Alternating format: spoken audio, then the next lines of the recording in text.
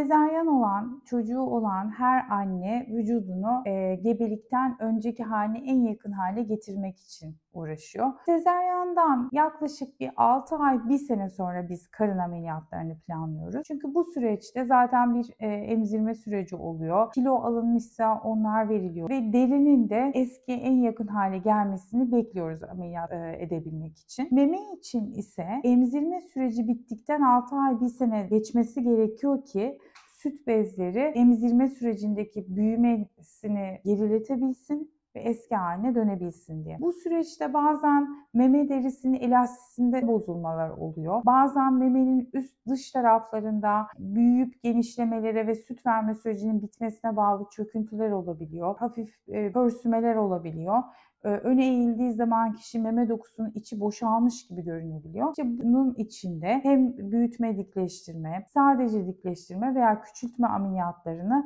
emzirme tamamlandıktan 6 ay, bir sene sonra yapabiliyoruz. İki ameliyatı kombine de edebiliyoruz. Örneğin karın germe gerekiyorsa mini veya tam karın germe o muayene sırasında belli oluyor.